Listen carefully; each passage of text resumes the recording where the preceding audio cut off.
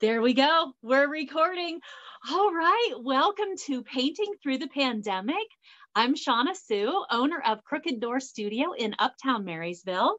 Um, I'm so excited to be here. I can't wait to do this painting tonight.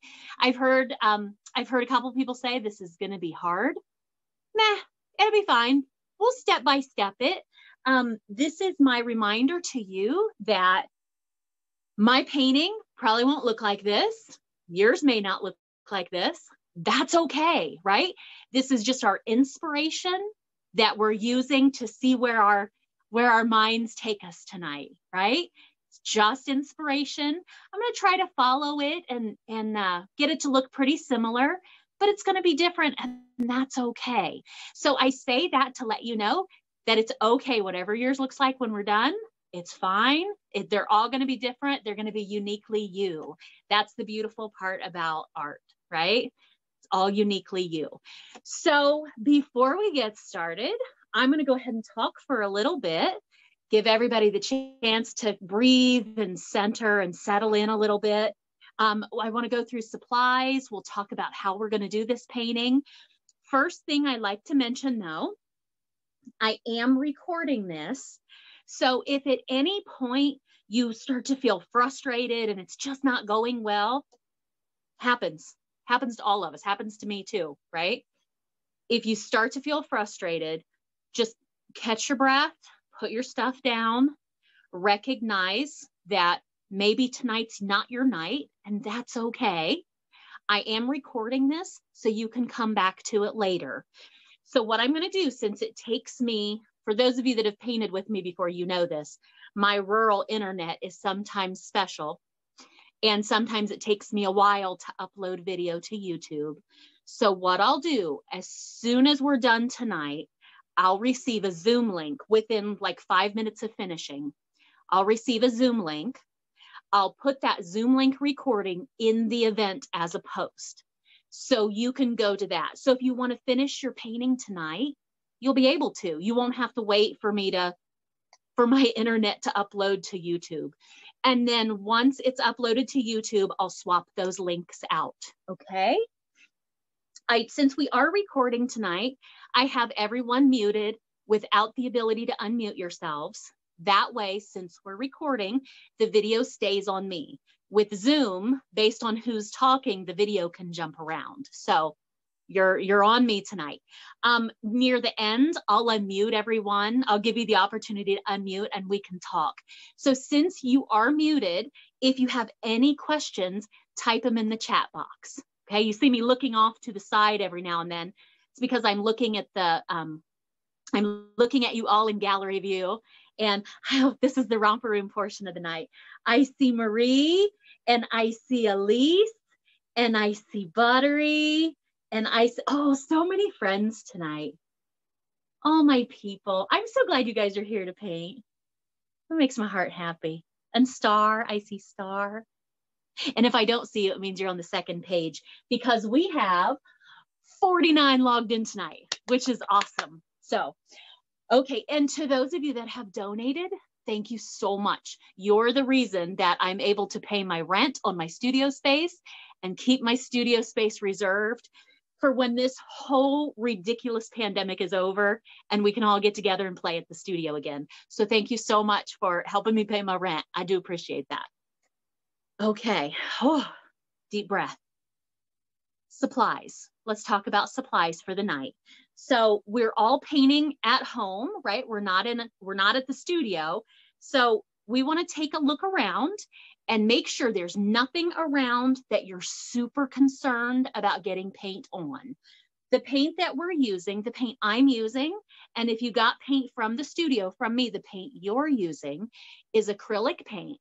It's water based, water soluble, but if you get it on your clothes and it dries, it's a real bear to get out. Okay. Acrylic paint, when it dries, it turns to plastic. When it gets in fiber, it's real hard to get out. So take a moment, look around. It's real easy when you're painting to flick off the edge of the canvas and fling paint accidentally. So take a peek, okay? Look around.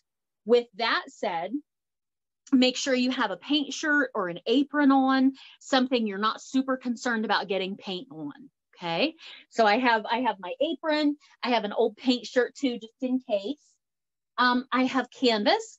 I'm using a 16 by 20 stretched canvas.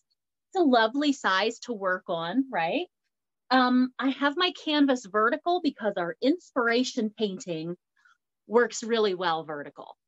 Um, I will leave it up to you though. If you want to flip your canvas sideways, if you want to paint on a different size, that's up to you. It's your painting, right? It's whatever you want to do with it. But I'm going to keep mine vertical tonight. I think it works well with the with the tree, with the bark. So I'm going to stay vertical.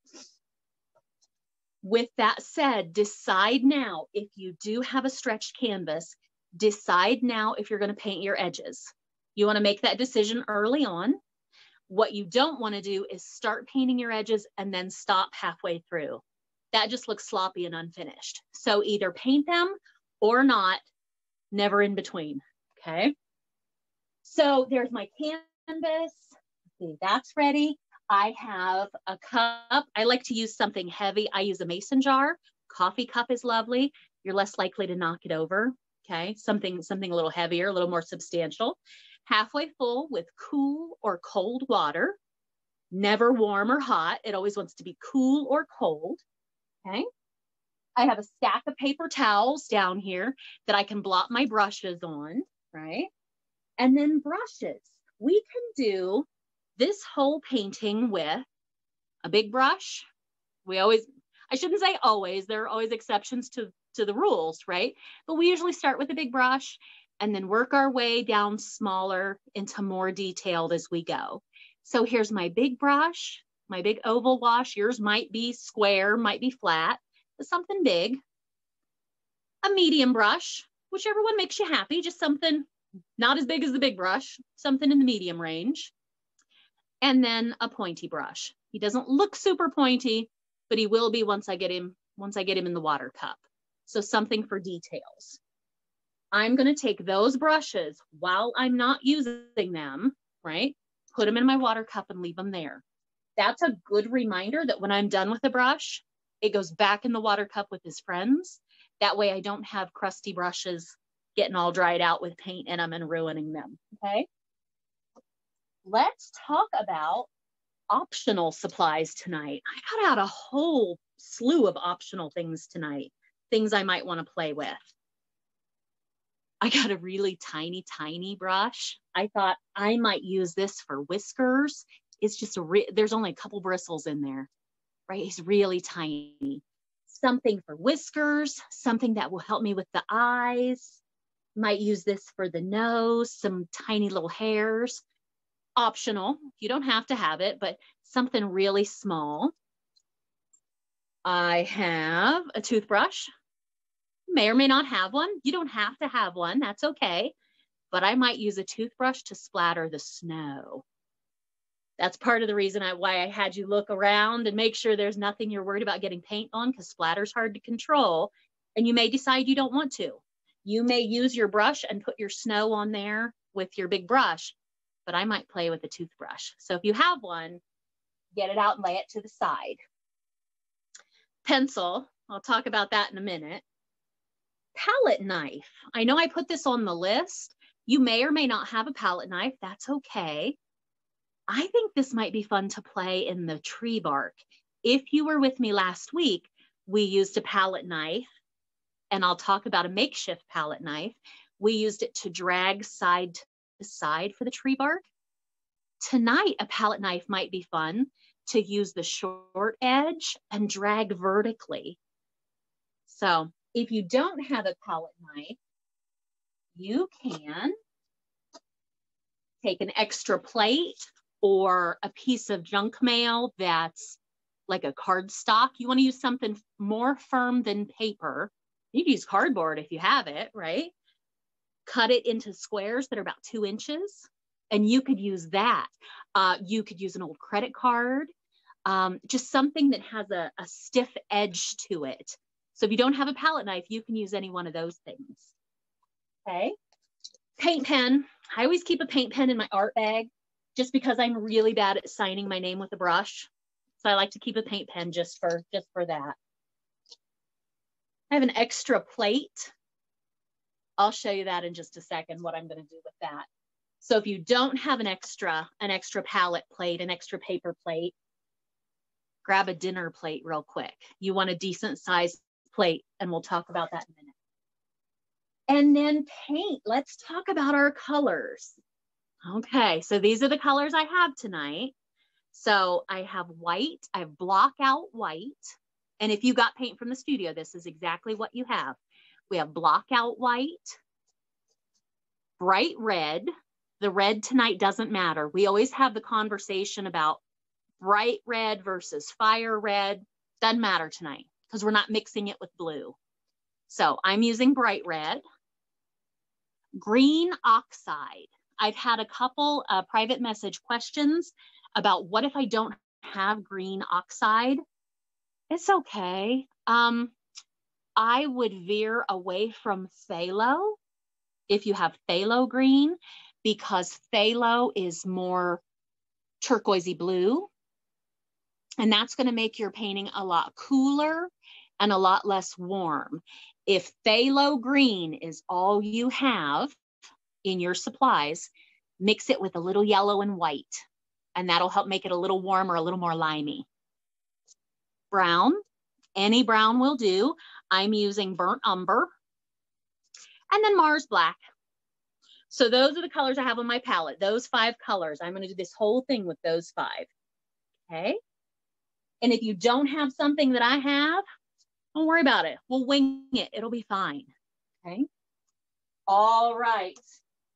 Are we ready? Are we ready to get started? I feel like this is getting shorter every week. It's only 7:13. It's usually about quarter after by the time I'm done talking.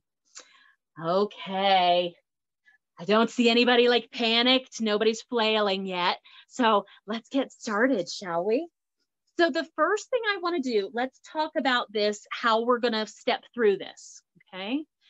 So I like to give you some direction of where we're going, some roadmap for the evening. So the way we're going to do this, I want to make sure the knot hole in my tree is plenty big enough for my raccoon. Sometimes we have a hard time filling the canvas. We make things really small. That's what I'm going to use a plate for. I'll show you that. So the first thing we're going to do is we're going to draw draw the knot hole and fill it in. And then we're gonna work on the bark on our tree. And then we'll start to lay out, map out our, our raccoon, his, his head, his head and his little arm there. And then we might come back to the tree and play a little bit while that's drying. And then we'll get his hat and his scarf. And the very last thing we're gonna do which is hard for some of us. So I'll talk about that in a second. The very last thing we're going to do is that fine detail the eyes, the nose, the whiskers. Whenever we do um, paint your pet, when the studio was open, when we do paint your pet, it's so hard because we do the eyes, the nose, the mouth, very last thing. And we're like, what is happening? This does not look like an animal. It looks so weird. But the minute you get the eyes, the nose on there, it's like, oh, there it is. There he is. So trust the process. It'll be fine. Okay. And look at that, 715. let's let's do this. It feels official now. I talked for my 15 minutes. Okay, plate. If again, if you don't have a plate, find a find a dinner plate, find something to use. But I'm going to use this and just lightly trace around it. This is going to be for my knot hole to make sure I have it big enough for my raccoon. I don't want it to be a tiny little hole in the middle of this canvas and have it be all tree. So I'm going to use this as my guide. I've got it in the middle, maybe a little higher than middle. And if you don't have a pencil, use a small brush and a little bit of brown paint but I'm just gonna lightly trace around it to give me, oops, to give me an idea of how big that needs to be for my raccoon.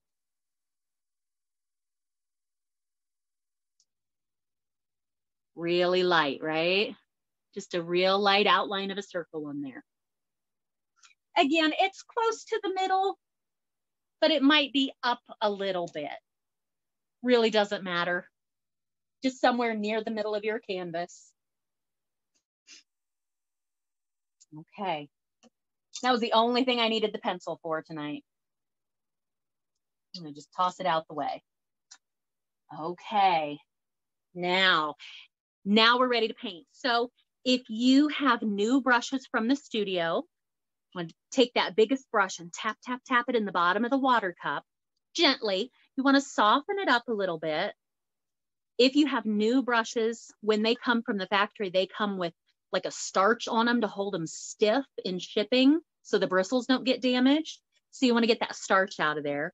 I always do this with my old brushes because there's always a little bit of paint residue left over. So I want to soften it up a little bit and get that residue out of there. All right, dry it off, biggest brush, dry it off. And let's paint this black. Easy enough, right? Anytime you take paint, we always go in the edge, in the edge of the puddle, never the middle. You don't want to mess the whole puddle up. So I'm always going to pull in the edge. And I don't want it necessarily to be a circle. I want it to be kind of like a big fat raindrop. So I'm going to take that circle and fill it in, but I'm going to give it that little point at the top. And we're just going to fill the whole thing in black. I'm not super concerned about staying in the in that line I just put on there. The sole purpose of that tracing that circle was making sure that my circle, my knot hole was big enough. Again, because we have a hard time, I see it all the time. We'll make it really small and we'll have this tiny little raccoon head in the middle of this ginormous canvas. So we want to make sure off the bat that this um, this knot hole is plenty big enough. I might even exaggerate mine out a little bit further. Not afraid of that, right?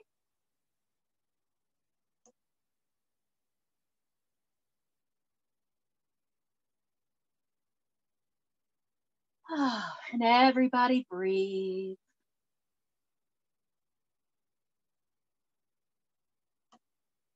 I like to tell people a lot. I, I've come to believe like 75% of being an artist is breathing and being okay with what happens and not trying to control the paintbrush, just letting it happen. When you try to control it, things get weird and then you end up fighting it. So just let it happen.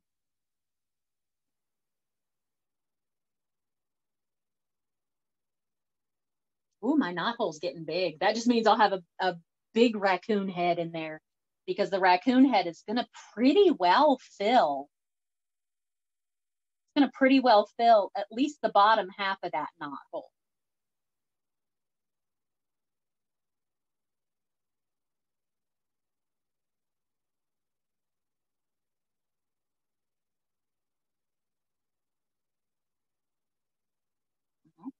Okay. Good. When I'm done, not gonna rinse my brush out. I'm okay if there's black in my brush.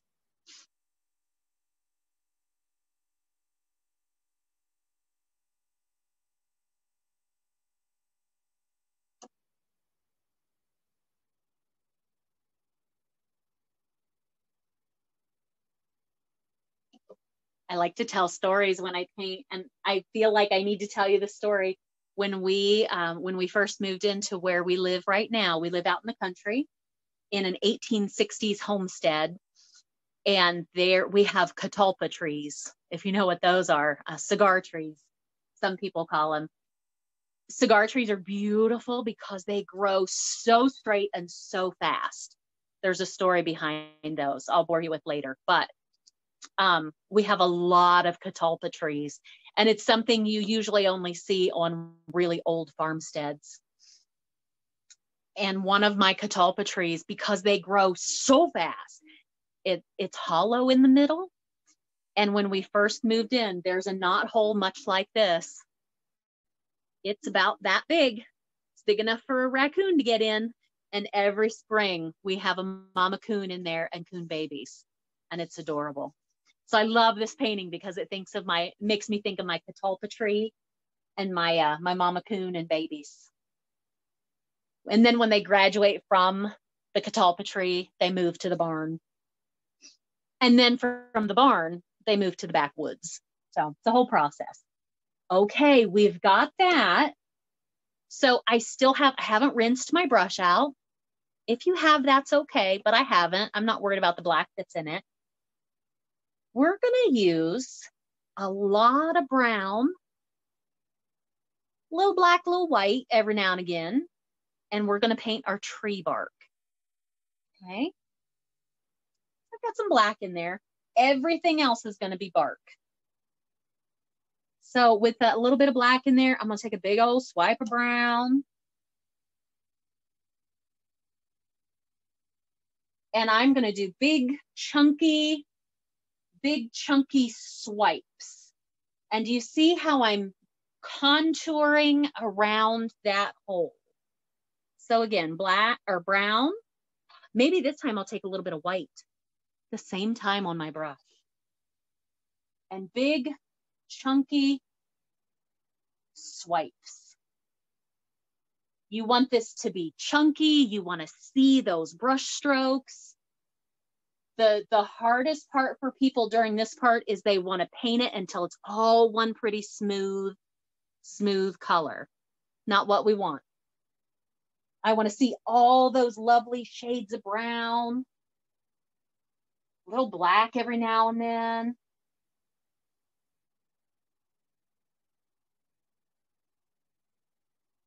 So again, brown, white, tiny black every now and then, mostly brown.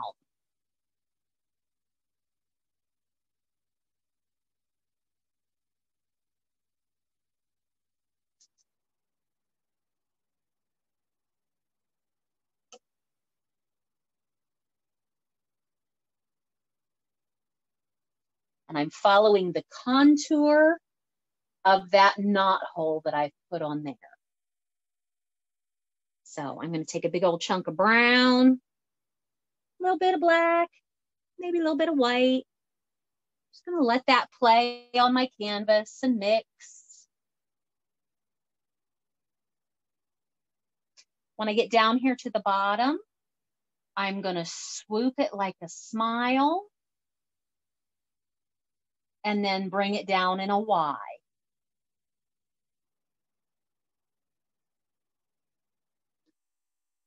Okay. Now I'm going to do this for a little bit, but this is the part where I thought it might be fun to play with a palette knife. We'll see. Not there yet, but that might be fun.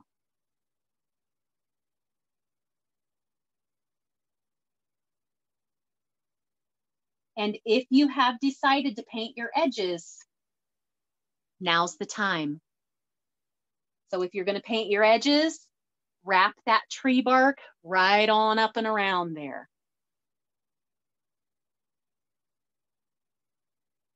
It's easier to do it now than it is to try to go back and match that color up later, okay?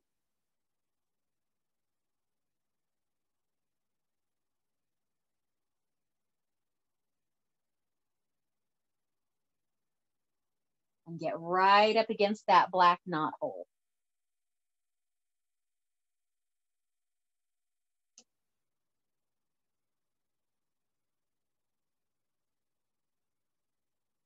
Now, if you look at the original painting, you'll see there's uh, green in there.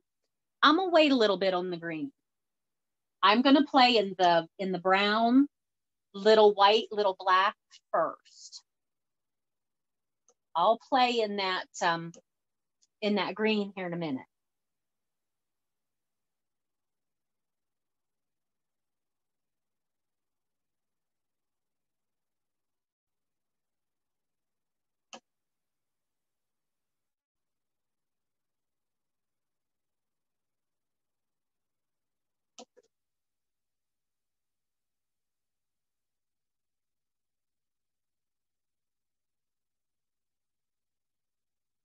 I'm using a lot of paint and really chunky, aggressive brush strokes.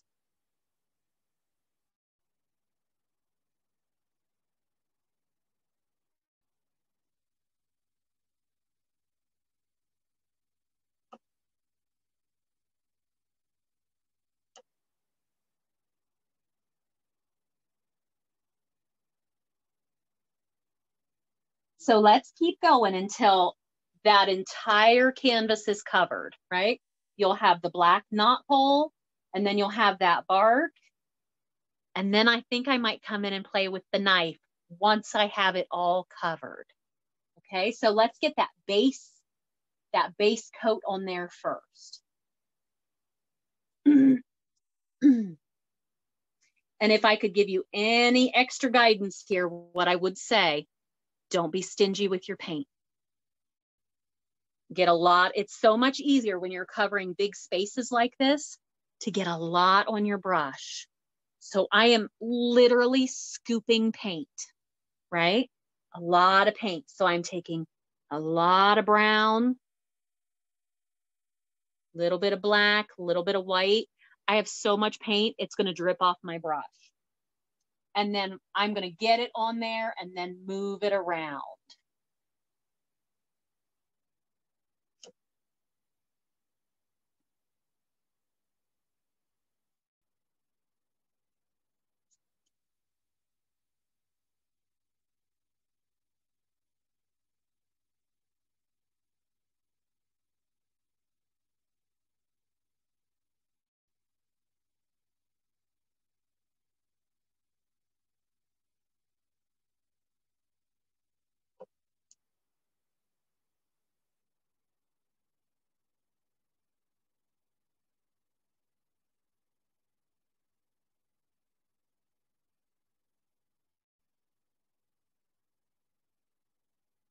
Oh, and edges, don't forget, if you have decided to paint them, don't forget them. Because again, what you don't want to do is get halfway through and stop painting your edges because that just looks sloppy and unfinished. And as we do this, I like to let you know the direction we're going and be respectful of everyone's time.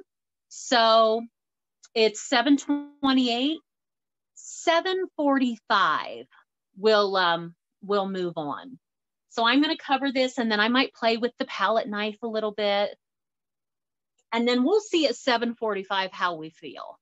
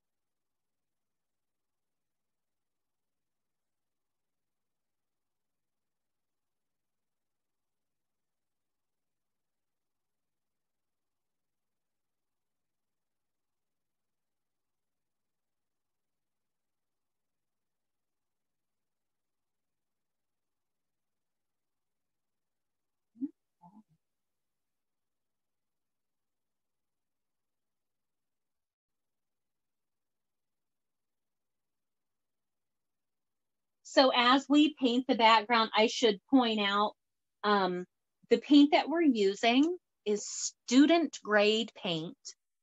I love student grade paint because it's inexpensive. I can buy it by the bucket for relatively cheap, right?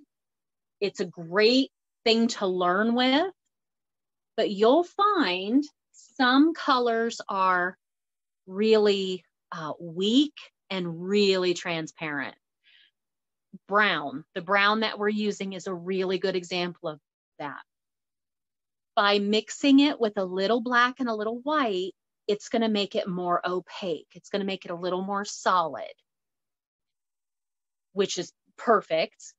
But if you mess with it too much, if you go back over and try to try to fix and and paint and paint and paint over the same spot, you'll start to see how transparent it is and you'll start to pick up with your brush half dried paint and it'll start to look weird and kind of like curdled because it's half dry.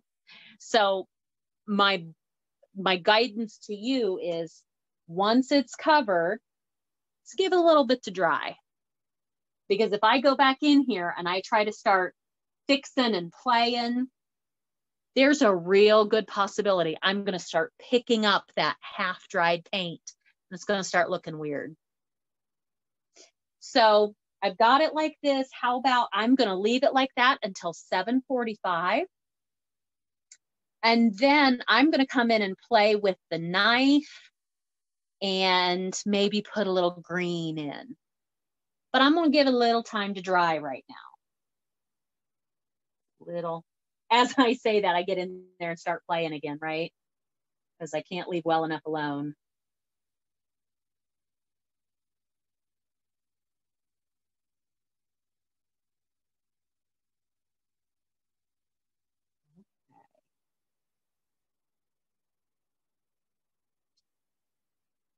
Okay, so 745, we'll move on. We'll play with a palette knife. Again, if you don't have a palette knife, um, you can cut cut up a, um, a paper plate or a piece of junk mail that's like kind of cardstock, heavier than regular paper. Um, you just want something, or you can use an old credit card.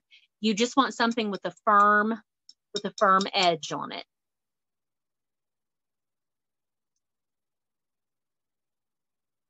So I'm going to take this time while you guys are painting your tree. I'm going to take this time to refill my beverage.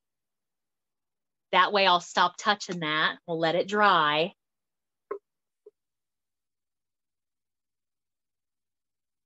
Oh, you guys, I'm so excited about this. I can't wait to see how this little guy turns out.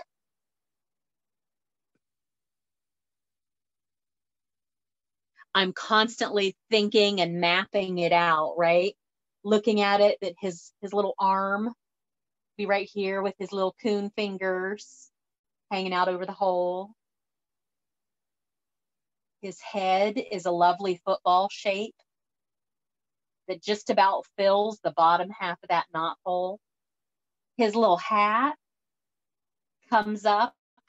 It follows the uh, the line of that knot hole right?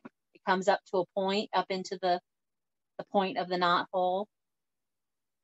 Oh, so fun. I was even thinking he has his little scarf on. I was even thinking if you wanted to bring the scarf outside the tree, you could. That would be super cute.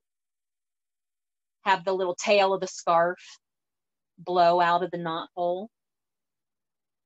Oh, so fun. Okay. Oh yes, when you're uh, when you're done, I just saw that question. When you're done, brush in water cup. You could clean it a little in the water cup if you want. Tap tap tap.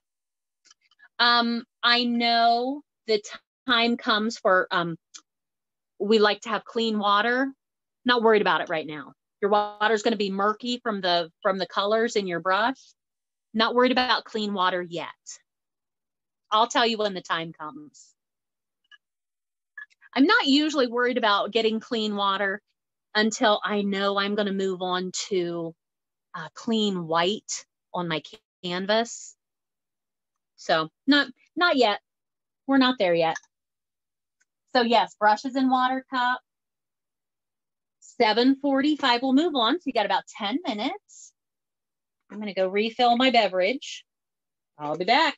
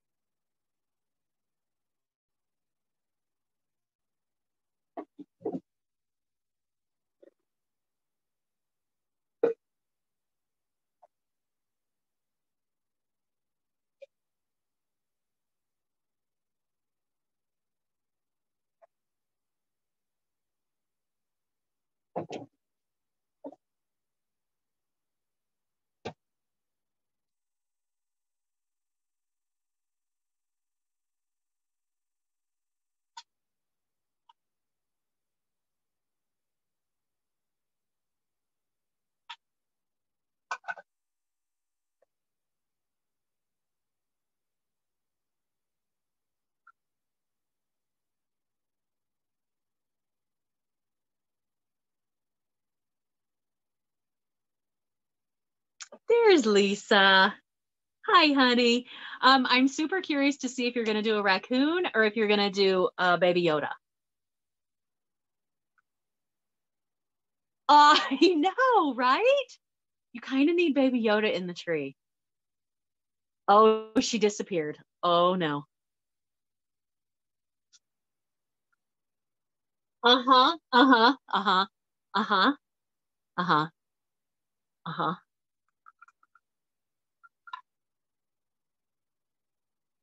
That might need to happen.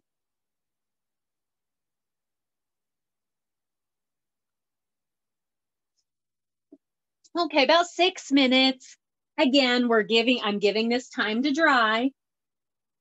There comes a point you got to stop touching it because you'll start picking up half dried paint and it'll start looking weird. I'm not, you know, the more I think about it, I'm not super concerned about that for this painting because we do want that to look like tree bark. We want it to look really rough. So if you do feel like it's starting to look curdled and funky, it'll be okay. Mm-hmm. It's funny. I've painted with this kind of paint long enough though. I know. I know what it's capable of. And it'll start to make me crazy after a while. That's why I've stopped touching it. And um, happy birthday, Tamisha. I've seen you on here. Okay. I've seen the name on here, but I haven't seen you on here. But happy early birthday. Or er, early? Late. Happy birthday.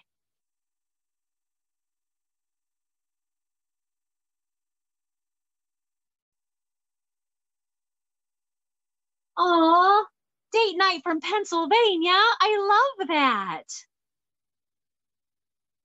I'm curious. I, I wonder who's the furthest away tonight. I don't see my friend Tracy from Guatemala on here. So it's fair game. Who who do we think is the furthest? We've got Pennsylvania. Lots of central Ohio. So if you're in central Ohio, you don't count. Not for this game.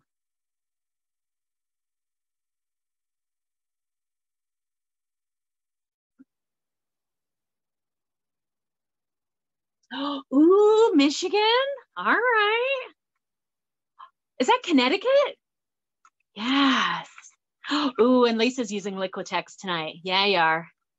I do love the Liquitex. Are you using soft body or hard body, Lisa? Let me know.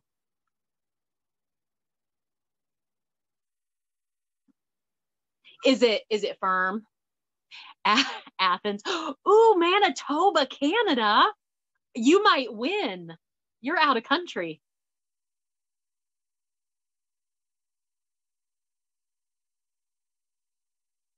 Manitoba, you I think you win tonight. Ooh, heavy body, right, Lace? That that'll give you some really cool texture in your tree. Four minutes. Four minutes and we'll we'll play a little more in that tree. So now's the time if Jen Dutter, I saw other uh, other people with you there. I was like, who'd you talk into painting tonight? So you're in Magnolia. You know that's where my girl's at, right? That's where Summer's at. You knew that.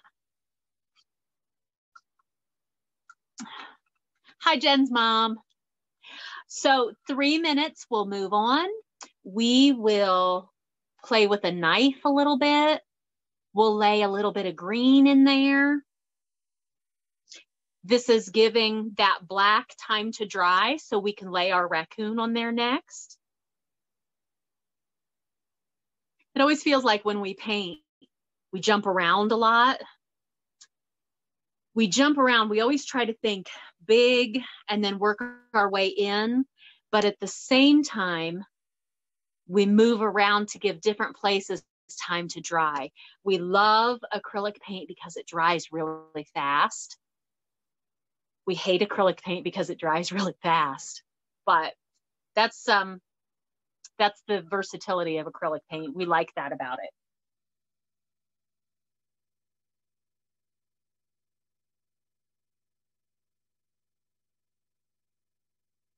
Okay, nobody else has chimed in. Manitoba, I do believe you win. There's no prize, but you win. I'm I would be curious to find out how you heard about us, Manitoba. I could call you by name, but you are Manitoba from here on out.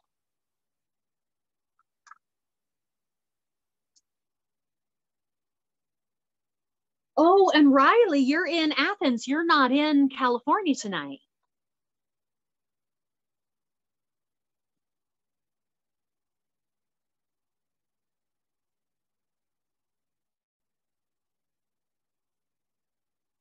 And I love that Pennsylvania has a date night tonight. That makes me happy. Paint date nights are always the best. Well, welcome back to Ohio, Riley. Early birthday. Nice. Oh, Jen, that's awesome. Painting on slate from dad's barn. I have a ton of slate that I don't know what to do with. I've been thinking about painting projects, not sure. I can't wait to see yours when you're done, Jen. My fear is on the slate that I have, it all seems very thin and fragile. So I haven't done anything with it yet because I'm not sure how sturdy it is.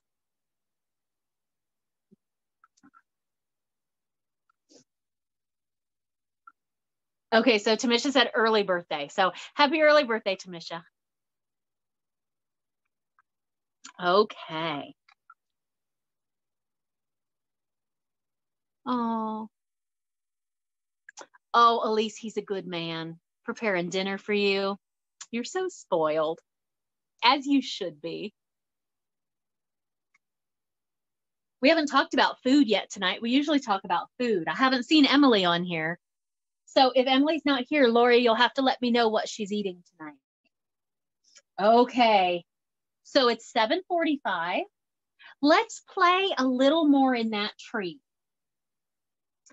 So if you have a knife, now's the time. If you don't, you can use your makeshift palette knife. If you don't have either of those things, play a little more with the brush. Think about how this might really look in, in real world, right? This would be a little bit darker down here under the knot hole. I would probably do a little darker down here at the corners to give it a little depth and dimension. I might take a little bit of white right here around the top of the knot hole. Okay, so you can do that with a brush, you can do it with a palette knife, you can do it with a makeshift palette knife. Oh, leftover pad thai. That sounds really good. Pad thai sounds good. I'm sorry, she has a migraine. Okay, so I'm, I think I'm gonna play with some white. So I'm gonna take that palette knife, and if you have your, your cardboard or your makeshift, same thing, just set the edge in there. So I'm just forming the littlest bit of, littlest edge on that knife. And then I'm, it's almost like buttering toast.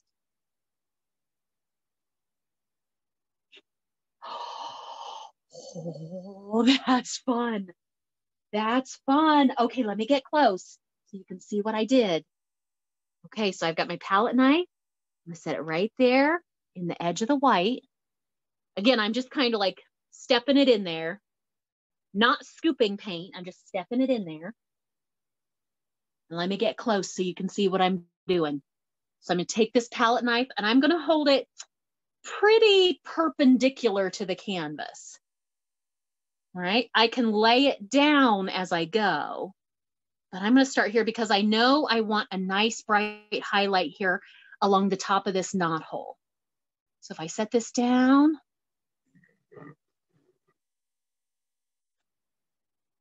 Oh, oh that's fun. Well, that's a lot of fun.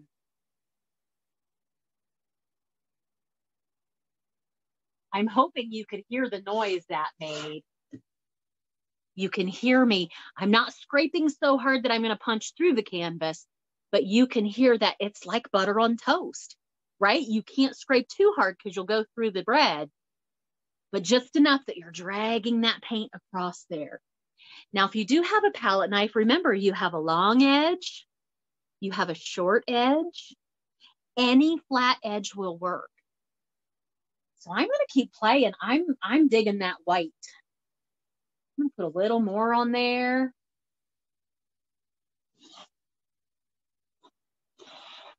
Oh, that's adding some cool texture. Remember, you want to follow that same contour, right? Don't change things now. Follow that same contour texture. See, I'm going to take my palette knife with a little bit of black because I wanted to get this dark Y down here. Oh, that's fun. Oh, maybe a little brown.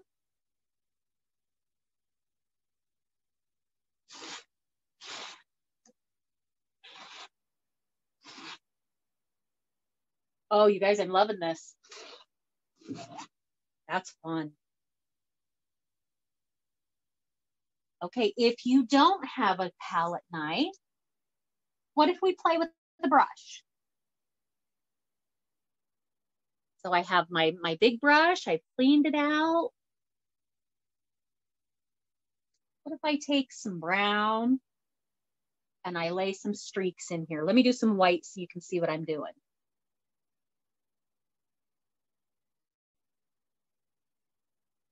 Oh, I like the palette knife much better than the brush for this. So if you don't have one, I highly recommend making one with um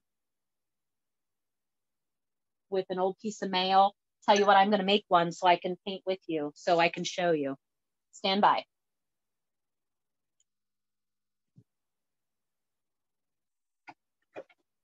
Okay, I got my scissors.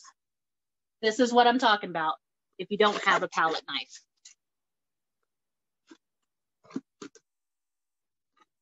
I'm just taking this plate, cutting it, giving myself a square. Again, you can use credit card, you can use old driver's license. Just stepping it in the paint, just setting it in there. And dragging it across your canvas. Oh, that's fun. I like it. So let's keep playing with that. Ooh, ooh, green. Are we ready for some green? Oh, I'm going to take green with my makeshift palette knife. Not going to put a lot on there, but I feel like I need some little bits of, there might be like some funky moss. Just little bits, a little bit of algae, some lichens. Sean, I feel you cringing right now. My my husband would be correcting me. He's like, you don't you don't have moss or algae on a tree. So as my naturalist friend, I apologize if I messed any of that up. But I like the little bits of the little bits of green in here. That's fun.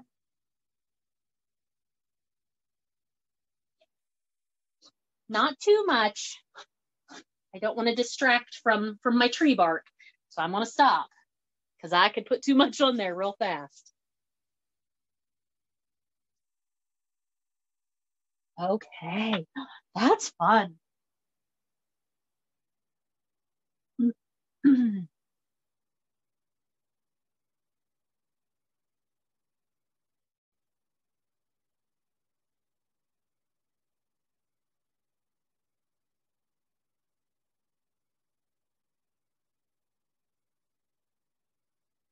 Oh, I like that. I want a little more dark down here. That's an important part of the process. Stepping away and getting a different look at it. Um, sometimes if I'm not sure if I'm done, I'm like, oh, do I need more? Do I need take a picture of it on your cell phone? And then don't look at the painting, look at that picture on your phone, and you'll see things differently. Your phone pumps up the contrast on things, and you'll see it differently in a picture on your phone than you will on your actual painting. So if you're not sure, you're like, what is happening here? Take a picture of it on your phone and look at that picture. See if you're going in a good direction.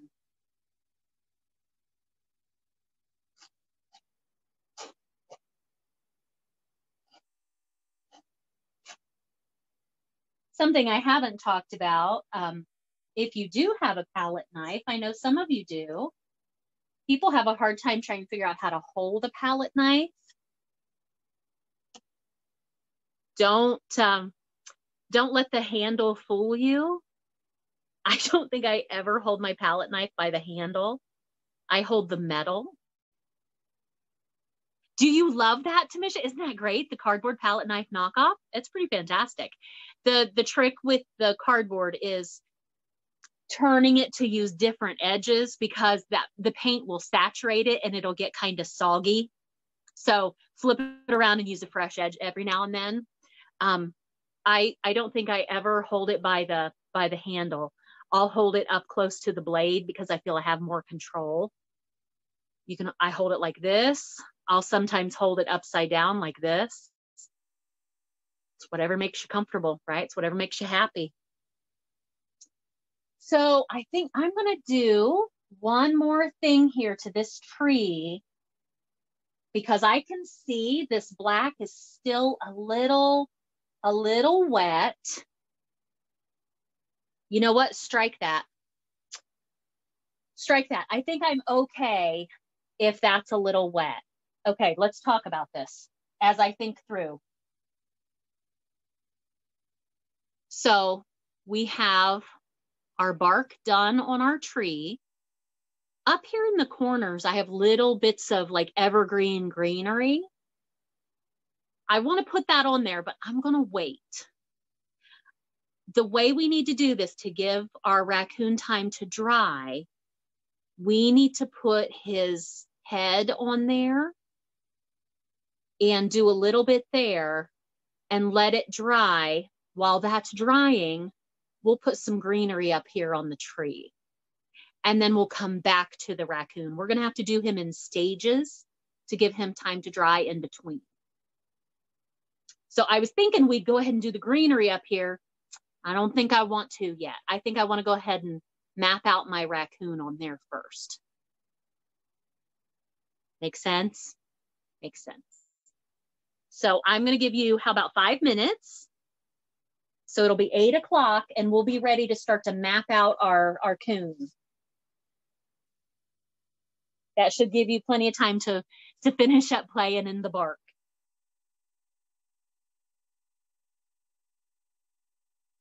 for those of you that haven't painted with us before, um, we'll be done right, we're usually done right around nine o'clock.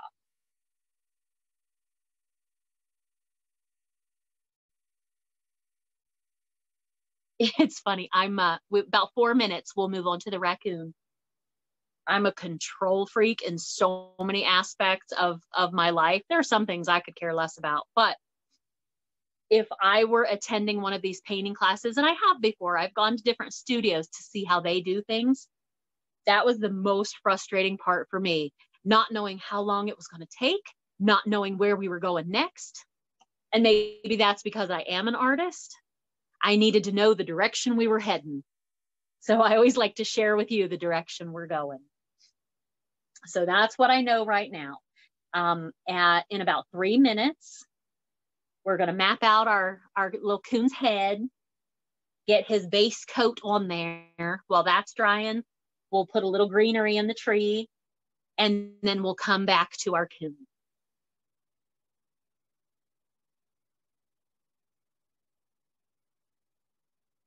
And now, Lori, I'm thinking about pad thai.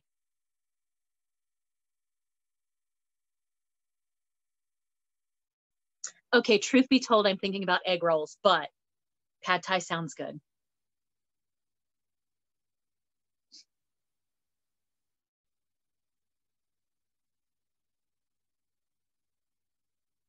Oh, guys, I love the palette knife in the tree. That texture is fun.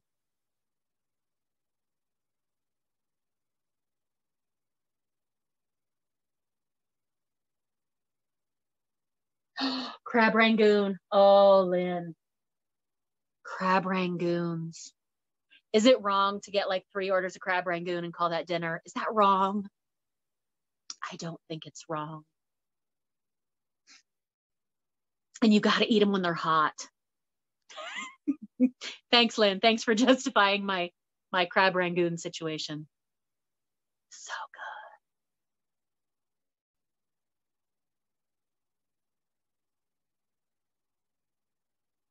Okay. About another two minutes. And we'll move on to that raccoon. Again, I'm not worried right now about clean water. Don't worry about that yet.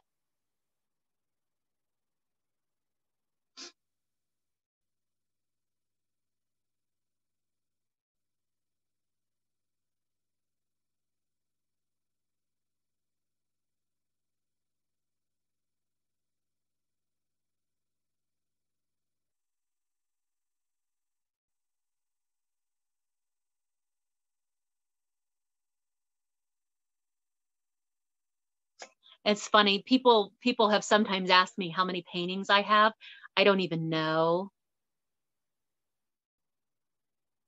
Oh my God, Elise, I didn't need to know that. If anybody else is having a crab rangoon situation right now, read the comment that Elise just put in the in the Zoom chat. I probably didn't need to know that. Thank you though. Um I lost my train of thought. Oh, so i'm i don't even know how many paintings i have. I'm sure i have probably a thousand and that's not an exaggeration. Because i've had the studio uh, five and a half years now almost almost july will be six years. So five and a half years. And i don't know three or four paintings a week 52 weeks in a year. You can you can do the math. It's quite a few paintings. Um but I, i'm thinking about this one and i mentioned earlier it would be kind of fun to take his scarf and kind of swing it, like have it blow out of the tree. I'm coming to a point. I will take these paintings if I have one I really, really like. And because they're stretched canvases, so they're wrapped around, right? They're stretched, stretched around and stapled on the back. You can go to Meijer Walmart, get a metal wreath hanger, and it will fit up under up under there. And you can hang these on your door, on your front door. So I've done that with paintings. My point is, it would be fun to hang this one on my door and have our last name right there on the scarf. That would be super cute. But right now, let's move on to the raccoon. Okay, find, let's use our big brush. I'm gonna squish that around in my cup clean it out, dry it off. And we're gonna use gray, so it's okay if there's a little dirty water in my brush. I'm gonna use gray for my raccoon. So clean it out, dry it off. And my raccoon, his head is like a big old fat football. Doesn't quite go to the edge to the edge if it does, that's fine. But my goal, we'll see if I manage that. My goal is to leave about a finger width of black on either side. We'll see. I may not accomplish that. We'll, we'll see what happens. Okay. So big brush, clean it out, dry it off. I'm going to take about half and half, black and white, I'm just mixing a nice medium gray. And I'm going to use my big brush, but I'm going to use it skinny ways.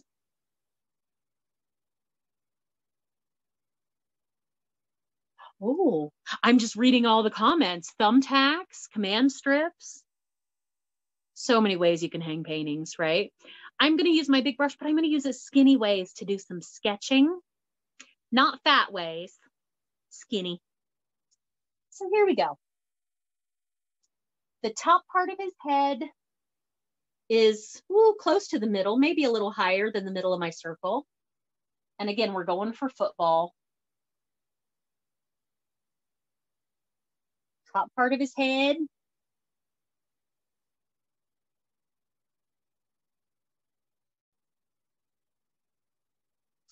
Little black, little white.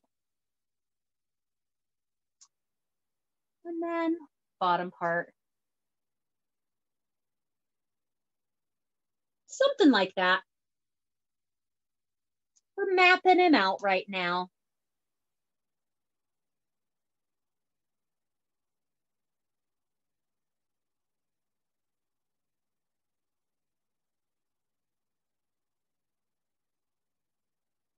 Okay.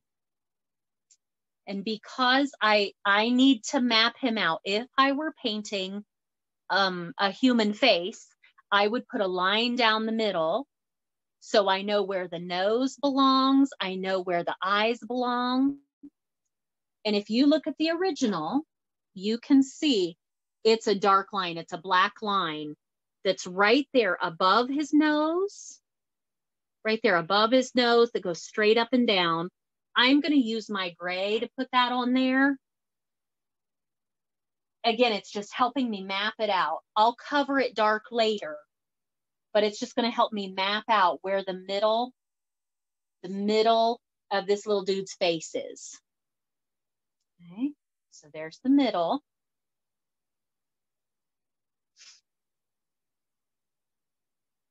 And then I'm going to map out his muzzle next. And I'm saying muzzle because it's not just his black nose. It's that bigger, that bigger white part. So that line that is going to be dark later comes about halfway down on the head. And that's where the muzzle starts. And the muzzle is, oh, kind of like a really fat, chubby, upside down heart.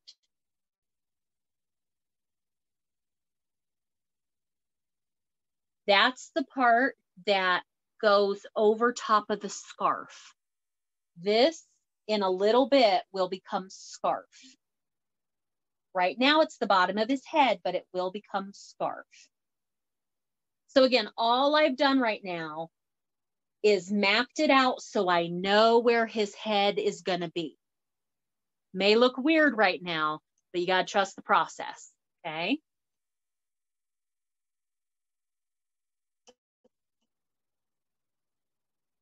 So again, I have this football shaped head. This is the bottom part of his head. That's that dark center line between his eyes. And then this is going to be that white muzzle with his little nose in the middle. That little black nose in the middle that my husband pointed out looks like a mushroom. Looks like a black mushroom if you look up close at it. Okay, so now that I have that, I know the direction this is all going. I'm going to jump down here and put his little arm on.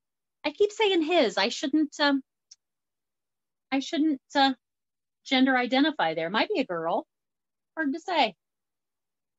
Okay, I'm going to keep on with my big brush because that's working for me. If it's not working for you, Oh, I love that. Sketching with water on black. I do like that to get an idea of where things are going to live. Let's put that arm on there. Again, my, my big brush is working for me, so I'm going to keep going with that. If you need to move to a smaller brush, you have a smaller one, okay? So you do what makes you comfortable. I'm going to stay with that same medium gray. And this is going to be little dude's arm down here. So I'm going to go darker because it's going to kind of disappear. And it's coming right along the bottom of that knot hole. Again, this gap in between is going to be scarf. But this right here is arm. Right along the bottom of that knot hole. And then this little hand. Oh, gotta love raccoon hands, right?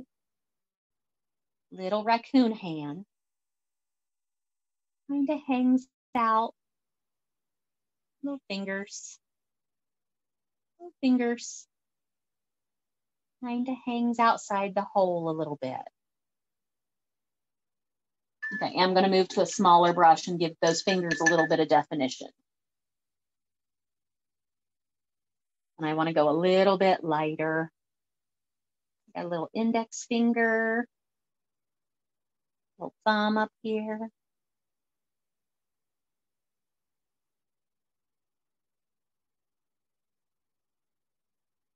And you see I'm doing little brush strokes, little choo choo choo brush strokes. Oh, that's fun.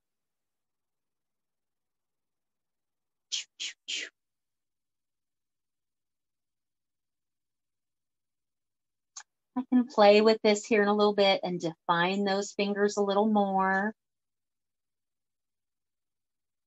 But I like to map things out and get the lay of the land. I know you're gonna you're gonna punch me in the face if I say map things out one more time, right? But that's the way we do it, right? We put big blocks of color on there and then we define it as we go right? It gets a little more detailed and a little more detailed. And do you see I started dark gray, almost black back here because it disappears into the, into the knot hole. And then as that little arm comes out, it gets whiter and whiter as it comes out into the daylight.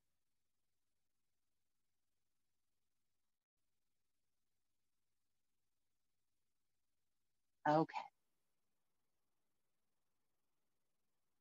I can do a little more detail on that later if I need to, but that's the general, the general idea. I might take a little more black and disappear this little arm back here, his little shoulder. I want it to just fade off into nothing. There we go. Okay. So now I know, I know where the arm lives. I know where my coon's head lives. So let's, let's start working on filling this in with color. Okay, so we're gonna fill his head in with color, everything except his, his little white muzzle. We're gonna fill that in. We'll do some work up here on these, uh, these um, branches up on the tree.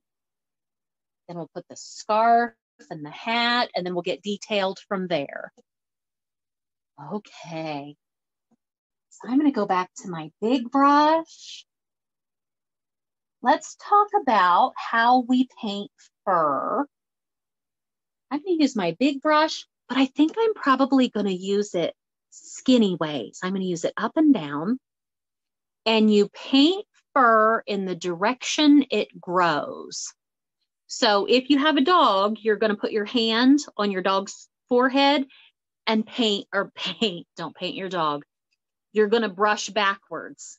That's the same way you're going to paint fur. You're going to start there and pull back and then work your way down the face as you go. Let me show you. So let's start with a medium gray. So I have my big brush with black half black, half white, like a medium gray. And I'm going to start here at the top of the head, skinny ways. And I'm going to pull up, up, up. Let me get close. This is the direction the fur grows, right? This is the direction I would pet this little guy if he were here with me. like a sunburst.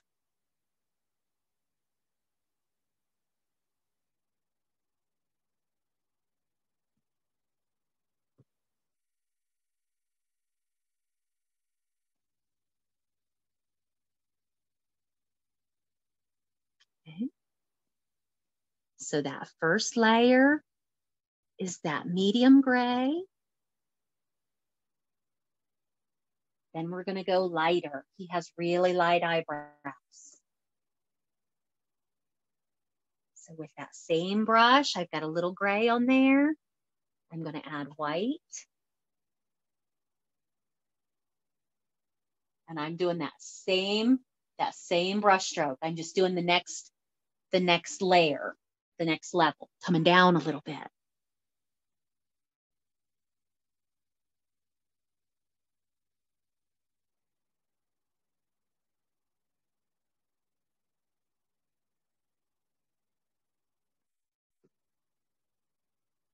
How fun is that? This is a great way to paint fur. It's a great way to paint uh, bird feathers. If you were going to paint um, bird feathers, you'd do the same thing, but like the, the chest of a bird, you'd pull down to have those little feathers hanging down. So I've done medium gray, and then I've gotten lighter. This is the spot that's going to be above those eyes.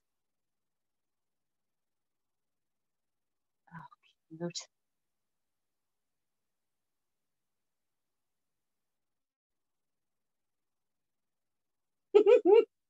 I don't know why, but my my raccoon suddenly feels like a cranky old man.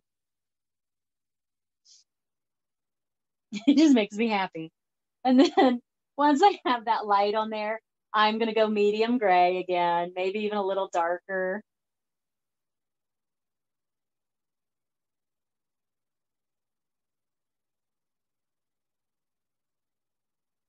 Oh, fun. Oh, he's so cute already.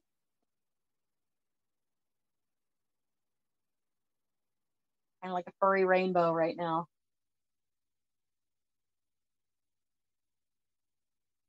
Again, trust the process, right? It looks a little strange right now, but it'll all make sense. Okay.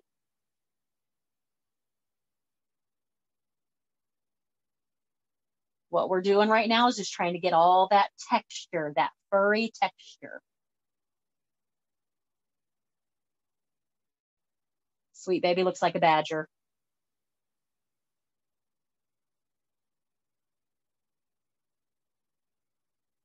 Okay.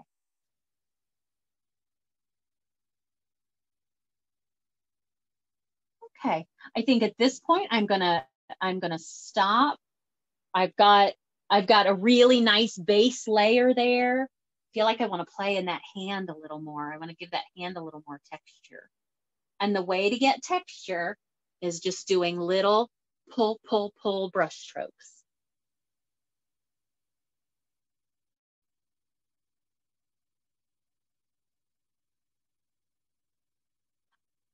I think I tried to explain it once upon a time when I say little pull brush strokes. Um, he, I have seen, right? I've been teaching for a long time, so I've seen, I've seen things. I see people do this. That's not what we want when we're doing something like this. Think of your brush like a pendulum. Think of it. So if this is my canvas, think of it like a pendulum. So I'm above it. Oh, a koala. I love that, Lynn. Mine could be koala-ish too. We'll see how it turns out. Think of your brush like a pendulum. So I'm not setting it down, dragging and pulling it back up. I'm starting above my canvas. I'm coming down and swiping and coming back, coming off the canvas again. So I'm coming down, swiping and letting go. That's such a difference from setting it down, dragging it, and pulling it back up. Okay, I hope that I hope that helps. I hope that makes sense. Let's see. I'm gonna play with this guy just a little more. I feel like I want a little more light in here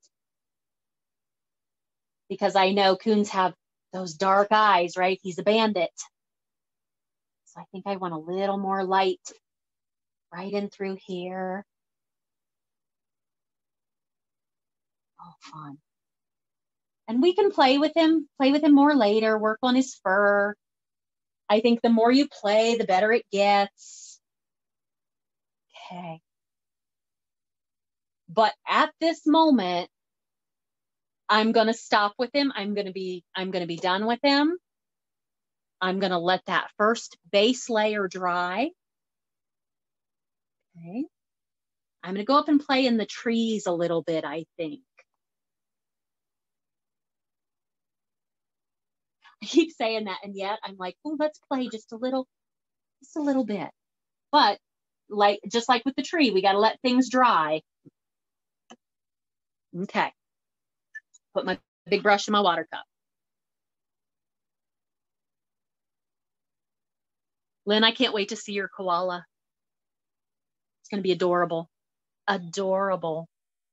And didn't we say that's part of being an artist is just letting whatever's going to happen happen and being okay with it.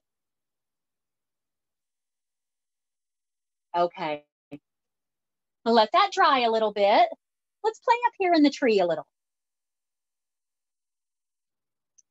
What if I take one of my big round brushes and this is optional, but I think it's I think it's fun. I think it adds a little something to your to your painting. I'm going to take a little bit of brown. I have a big fat pointy brush, big fat round. And I'm going to put maybe a maybe a bough right here. And you can't see it because it's brown on brown, but it's there. And what if I take some green? And I put um, needles, pine needles. I'm using the same kind of technique that I used with the fur. So on that brown streak I put there, I'm setting that round brush on there and I'm pulling out, I'm creating like little upside down V's. Do that again. So my brown line is right there. I'm pulling out, out, out, out, out, out.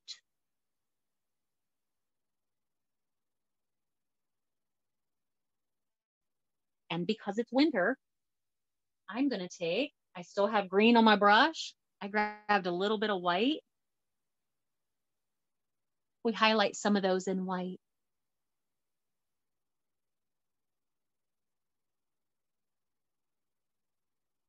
Fun. That's fun. It's just a little something extra. You don't have to do it, but it gives us something fun to play with to get away from our, our raccoon face for a minute. So I'm going to do another one up here.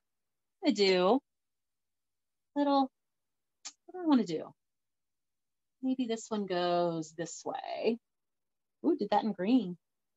I pull my pull my V's. I'm pulling from that green out, out.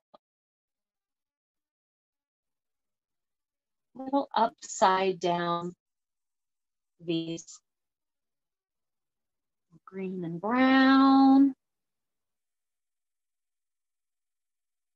If you have different greens you want to play with, this is a lovely time to play with those.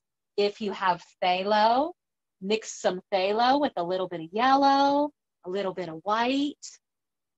You'll get a fun lime color.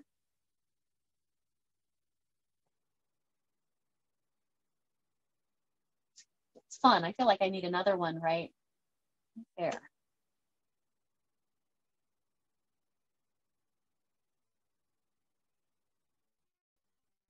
Like everything else on that on that tree making sure i have plenty of paint in my brush.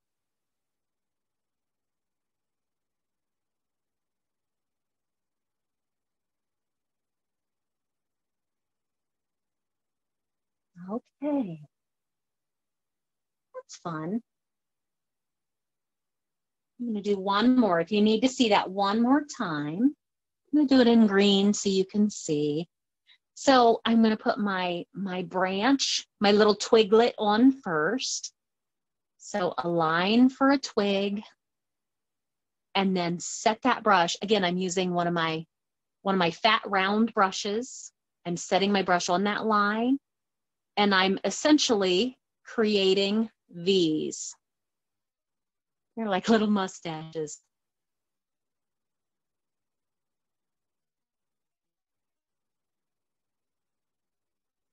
Really nothing fancy, nothing too detailed.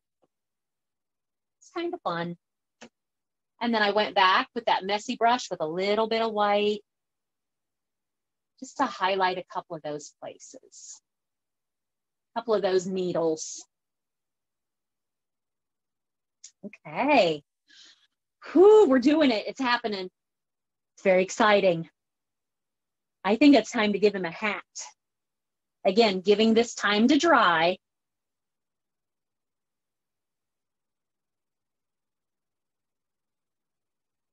Yep, we'll give that time to dry. So let's go ahead and put a hat on there. Let's do it. So the thing to remember when we get ready to put the hat on there, if you're using the same paint I'm using, if you're using student grade acrylic paint, it's going to be very transparent.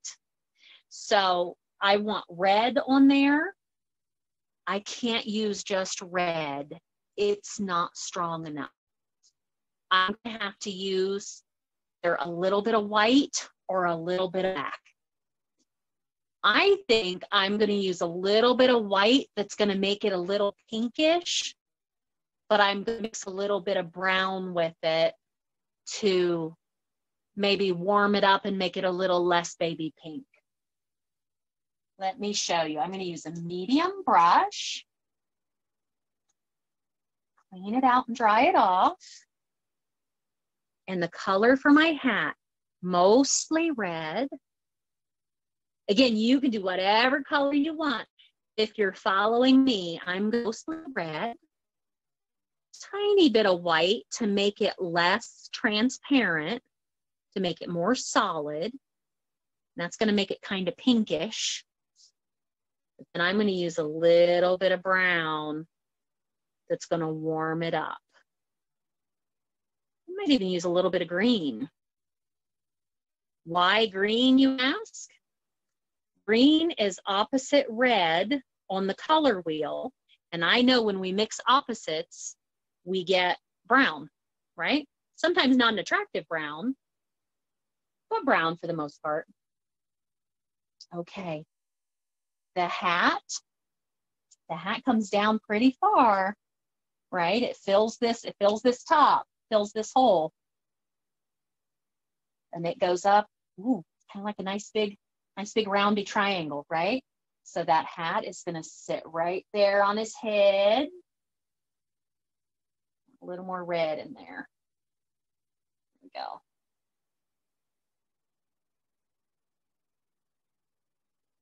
I have that brim or that uh, that part of the hat that you roll, right?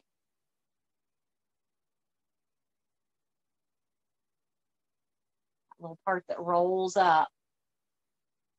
I'll put detail on it later, but I want to get that first coat on there.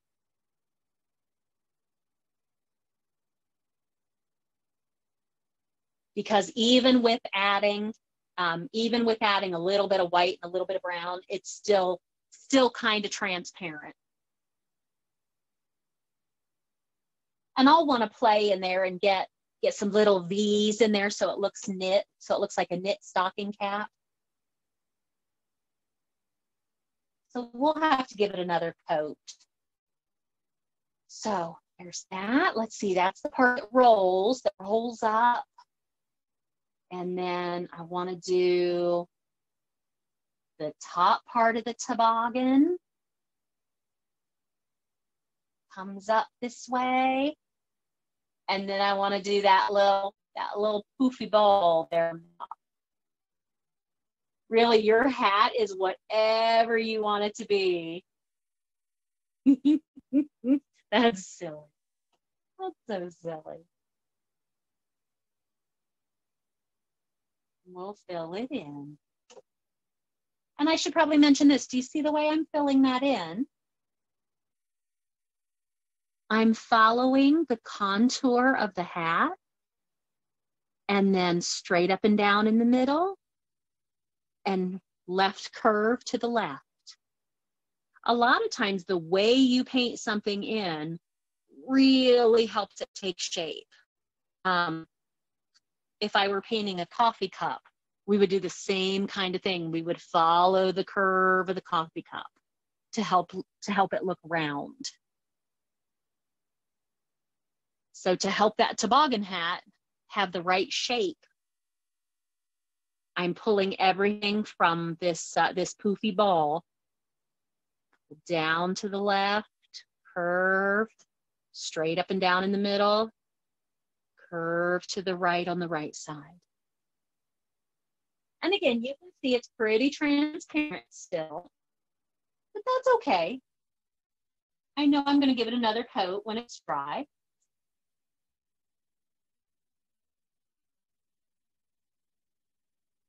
Oh, that's fun. Okay. And then my little, uh, my little poof ball out here. It's like the fur, but it's from the middle. It's like a little starburst. Pull out, out, out.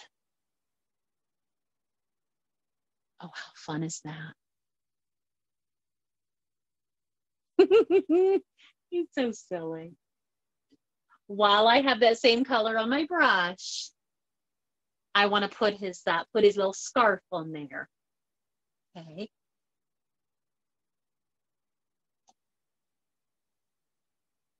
The same color.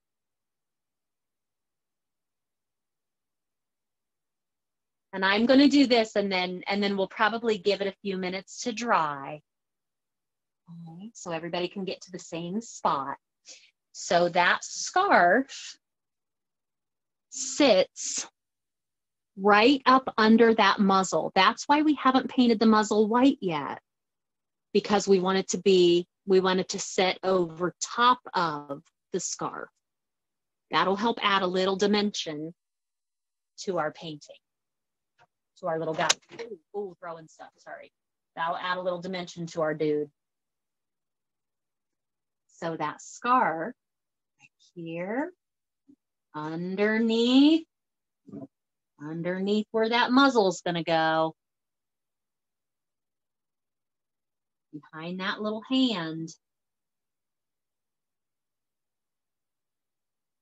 And my scarf is not as thick as the one on the um, on the original. You know what? I'm okay with that.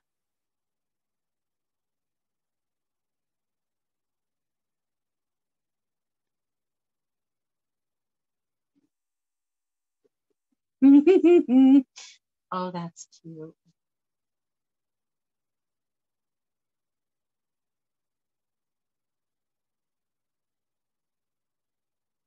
Here we go. Now, this would be the time if you decided that you wanted the scarf. I kind of do. I kind of want the scarf to blow outside the tree. I'm going to do it. You don't have to. This is optional. Don't do it if you don't want because it's not on the original. But I'm going to have this scarf right here. Blow right outside the tree.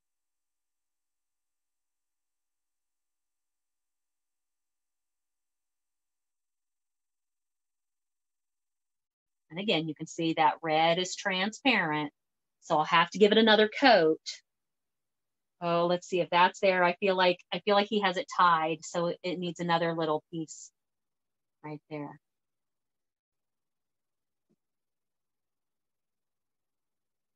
There we go. That's so silly. Hmm.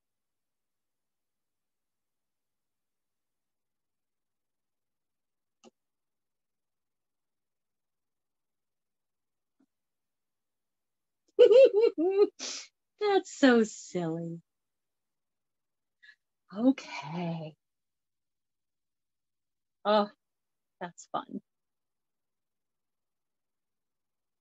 Okay, so I think what I'm going to do, I think we should probably um, put some play in the hat a little more, um, give it those little V marks, play in the scarf a little bit, and then we'll come back and we'll finish up our uh, our raccoon face. So might need the blow dryer when we're done with the hat and the scarf because you don't want to get pink in your fur, right? But I think I want to go ahead and finish the hat and the scarf now. So I'm going to go to my, um, to my round brush and I'm going to use red, little brown, and a tiny, tiny touch more white. So I have a difference. And I'm going to start on the scarf. And I'm going to do, if you're knitting, knitting would have, um, look like little V's.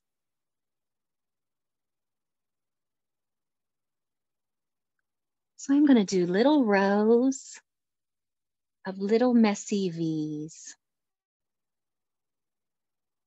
They look like little hearts, don't they? Maybe we should have done this for Valentine's Day. How cute is that?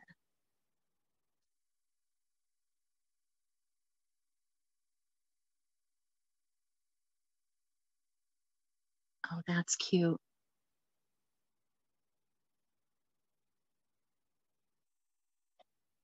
Let's see. I'm going to do the same thing up here on the hat on this brim, I want to do these in rows. V here, and then another row vertically. So these stacked on V's.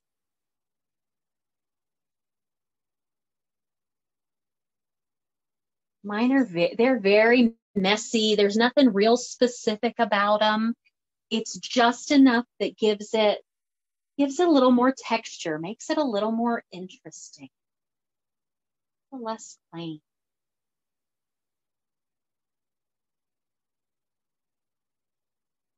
This is the point that if Alicia were here, I would remind her to breathe. So I'm reminding everyone to breathe right now, right? This is going to be what it's going to be. We have to take a look at it, the, the entire finished product when we're done. We don't judge it halfway through. And I keep saying it's adorable because I can I can see how it's turning out and it's, it's looking pretty darn cute. Let's see, I think I want some the idea of little V's up here.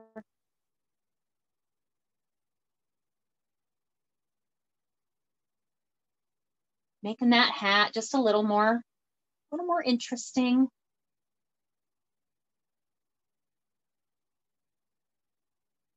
Oh, I need to take that same color and go in my little, my little poof ball.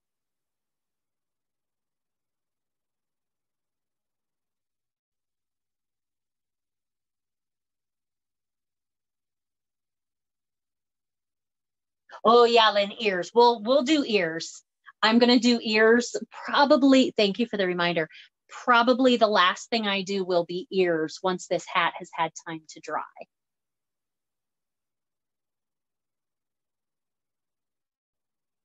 Let's see, and up to this point, I've done um, lighter, right? I've gone, I've done red and then I've gone a little bit lighter. There's also power in going darker too. So let me fin out, finish out my little, my little V's that are lighter.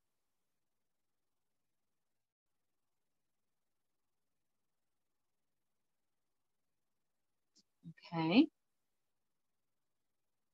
Anytime you go lighter, you can also go darker. So I'm going to go red with no white, just a little bit of brown.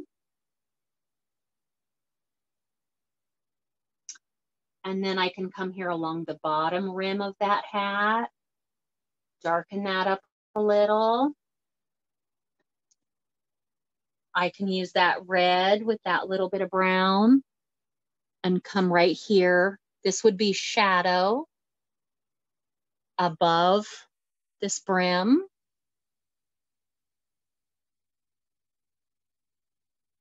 I could give myself some little lines here.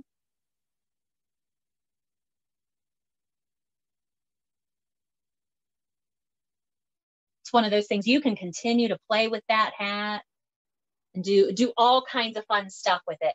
But in the interest of time, because I could even go one step lighter and instead of having a two-tone hat, go a little lighter and add another layer of, of little highlights. But again, in the interest of time, I'm gonna I'm gonna keep moving. I say that right, but you like how I just keep going.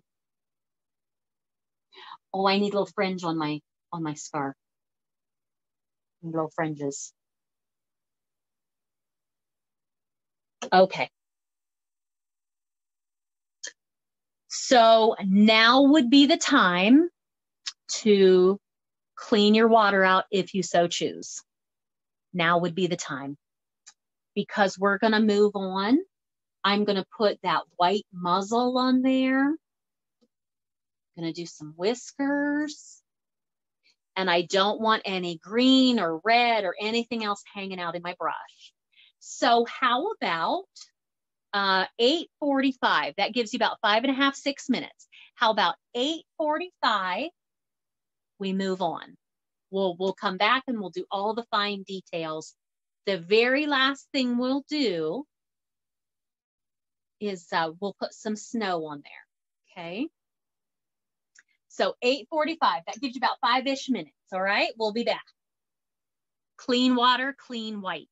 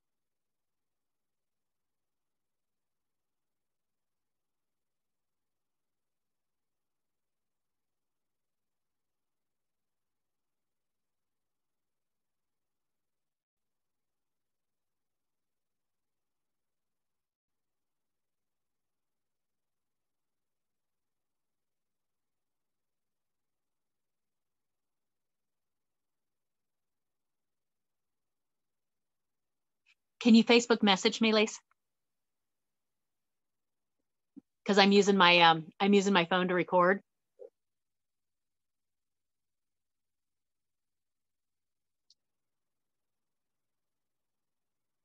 Okay, can't wait to see. I'm gonna follow my own advice and go get um go get clean water because that's a whole hot mess going on in there. Okay, two minutes and we're ready to we're ready to wrap this up. Two minutes.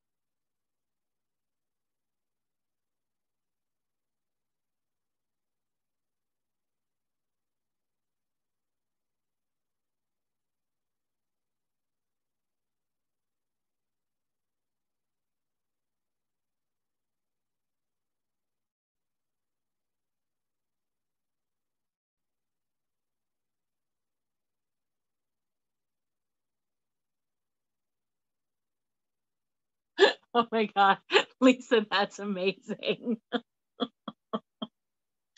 so I can't wait to see that in the in the group picture at the end, Lisa. That'll be awesome. Well done, sister. Okay, ready to go. Time to time to move on. Here we go. Quarter till. Okay. So let's see. We need to let's go ahead and put that muzzle on there. So I think everybody went and got clean white. Um, let's go ahead and put the muzzle on there. And then I'm going to work my way out from there, I think. Here we go. Medium brush. Medium brush, clean it out, dry it off with white. Okay. With white. And what did we say before? This is a very rounded heart. And it sits down, it comes over top of the scarf a little bit.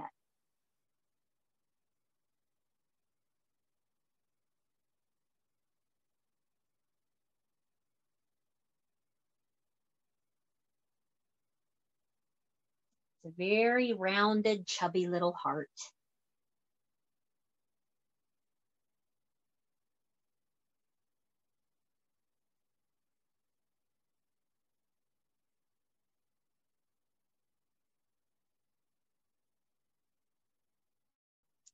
Oh, I'm seeing it. It's a happening.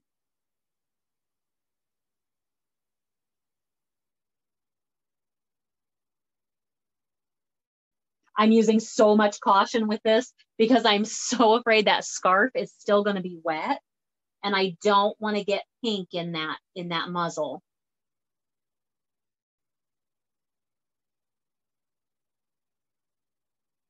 So if you do wind up with pink in that muzzle, stop, clean your brush out really, really good.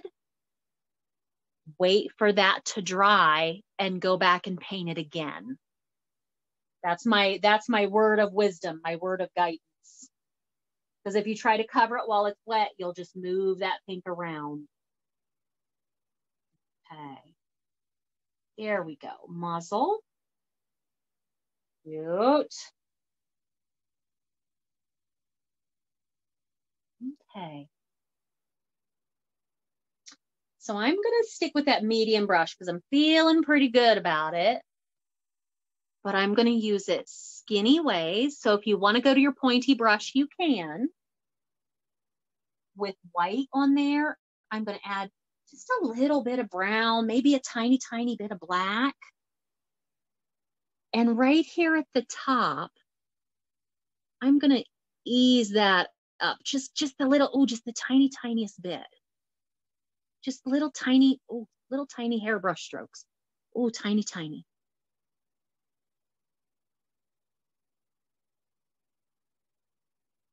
Tiny, tiny, tiny.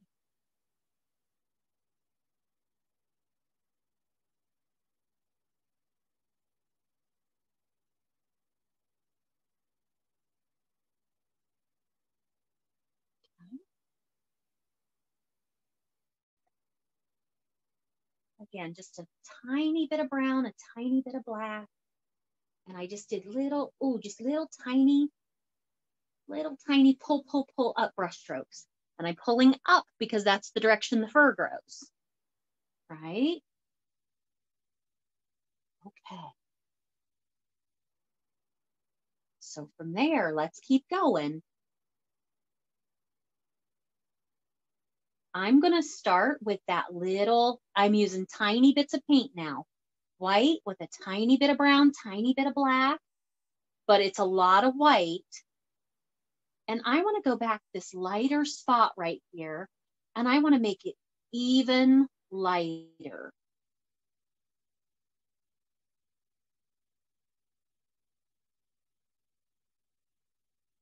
Even lighter. I'm just accentuating that light a little bit. By accentuating that and making it lighter, it's going to make that mask part look darker.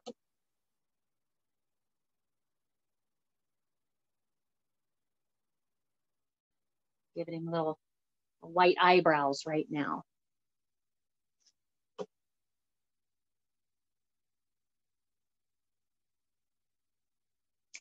I'm going to take that one step further and I'm going to connect this here on either side. There, right there. So look what has happened. I wound up with that dark spot right in the middle. That, that dark line right in the middle. By connecting those light, those light eyebrows from the nose.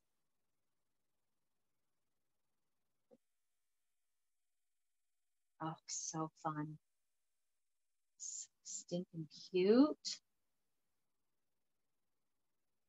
I even took a little bit of those, couple of those furs, got them up, up to the brim of the hat just a little bit, just a little. Making sure if you're going to do that, let's make sure that brim is dry. Oh, that's fun. So fun. Okay. Playing, playing a little. All right, so let's go ahead and put our eyes in there. We have that spot where those eyes live now, right? Those are going to be black. We'll do black and then we'll do uh, we'll do highlights. But let's do black first. Remember, if you're starting to feel frustrated, just put your put your brush down. Don't feel the need to keep up with me. Put your brush down. It'll be okay. You can come back to the video. Okay.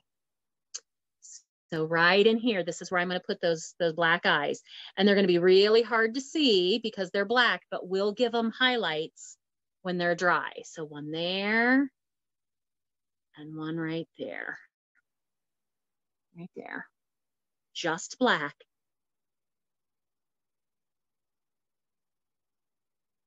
Right beside those white, that white V we put on there.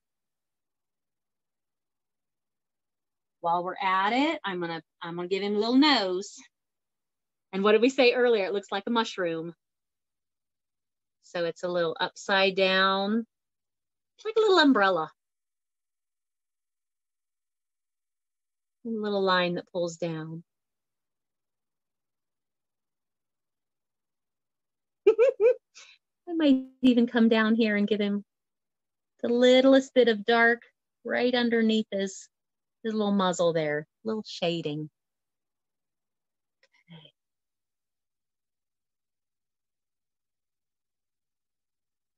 Oh, that's fun.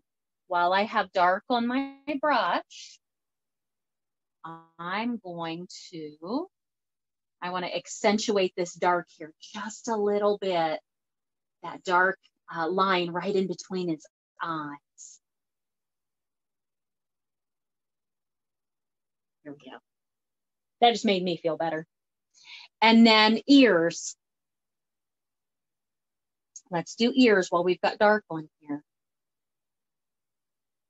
Uh, for those of you that weren't with us right at the beginning, I'm recording this. As soon as the recording's over, it usually takes about five minutes excuse me, I get a, uh, a link from Zoom.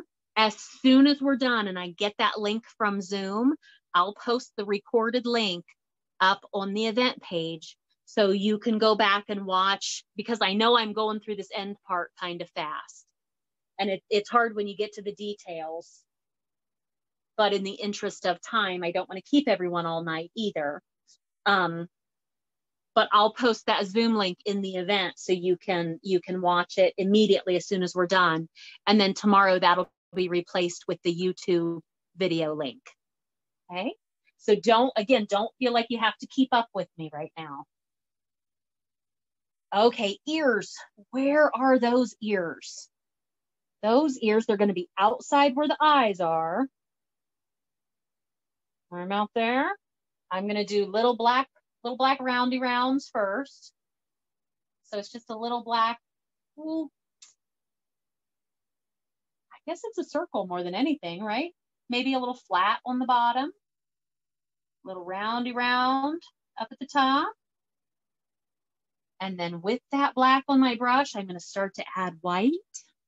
I'm going to get close because I want them to be black in the middle and then get lighter, get some gray on there with those little choo-choo brush strokes, those little pull, pull, pull brush strokes. Okay, so I've gone gray. I'm gonna add a little more white and get a little whiter out closer to the tip of that ear. Oh, that's cute. So while we're coming to the end of our, our time here tonight, um, I will, I'll give you all the opportunity to unmute and we can talk for a little bit. Um, but, oops, lost my picture, stand by, there we go. Um, I would love when you're done to send me um, either Facebook message me or email me a picture of you with your painting. And then I will collage those all together and put them out on um, put them out on social media, and that will serve as our group picture. Since we're not at the studio together, we can't get together for a group picture, but that's a good way for us to have a group picture. Oh, that's cute. Little ears. I think one's bigger than the other, but that's okay. We're not going to judge. All right. So let's see. I'm going to, at this point, I'm going to go to my super duper teeny tiny brush and I'm going to work on those eyes. So I'm going to get a little bit of water on that, dry it off. And I'm going to take a dark gray. So black and white. I'm going to keep it pretty dark. And if you look at if you look at any any animal and you look at a portrait of them, um, humans too, right? Our bottom, the bottom part of our eyelids, they're very they're very moist, right? So they catch light right along the bottom part of their eyes, our eyes, I should say. So I'm going to take this gray And I'm going to outline the bottom, just the bottom part of that eye. You know, I might give a little bit on the top too, just a little, but mostly on the bottom. Let's do that again because it's where um, that's where your tears hang out, right? That's where there would be just a little bit of moisture down there. Right there along the bottom. It's very subtle. Be a little on the top, but not much, mostly on the bottom. And that helps define those dark eyes in that dark face too. And then with that little tiny brush, we need to give light. We need to put some light in his eyes. So with white, I'm going to do a little blurb, like a little, I don't know, a little frown in the top part of those eyes. A little bit of light there. Oh, that just brought him to life. While I have that little bit of white on my brush, I can put some whiskers in out here from the muzzle. That's where this little tiny brush is fantastic. So I'm setting that white on that muzzle and pulling out and letting go. Out and let go.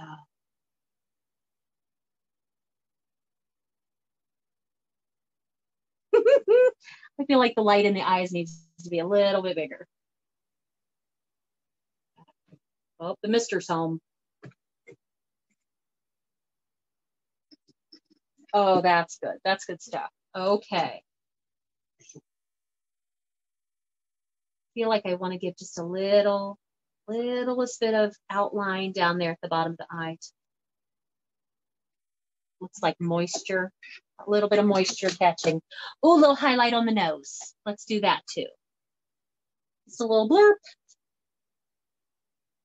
While I've got that teeny tiny little brush, I'm gonna take a little bit of black and give some lines in between those fingers just to separate them a little bit.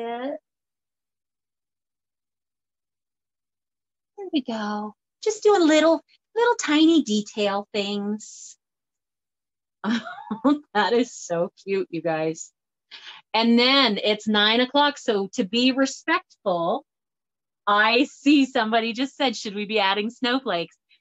Um, nine o'clock. So class is technically over, but it is snow time. So you can decide whether or not you want to do the snow.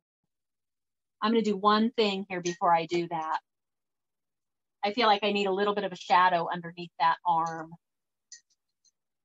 So I'm going to take a little bit of brown and black, just a tiny, tiny bit. And I'm going to do a little line right here underneath. Just a tiny little shadow. There we go. Adds a little dimension to it. Okay, so the original does have snow on it. Now, there are a couple ways you can tackle this. You can take your big brush with white. Make sure it's nice and clean and you've got clean white. And I'm going to kind of like lay my lay my brush down very messy.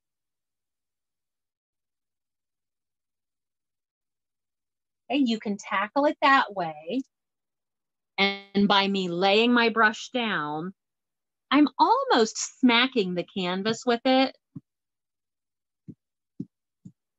I think I might do this with some with some big snowflakes.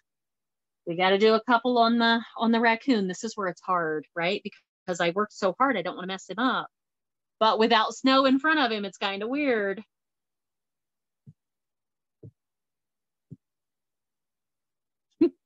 you hear that? Can you hear me hitting the hitting the canvas? Um, if you if you take this technique too, you have to stay random. This is hard for me because I want to form a pattern, and you don't want a pattern. So let's see. I've done that with my big brush. What if we do that same thing with a smaller brush? And then I'm gonna go really small to a toothbrush. So again, I've got a smaller brush, I've got it loaded up with paint. I'm just kind of smacking the canvas in places.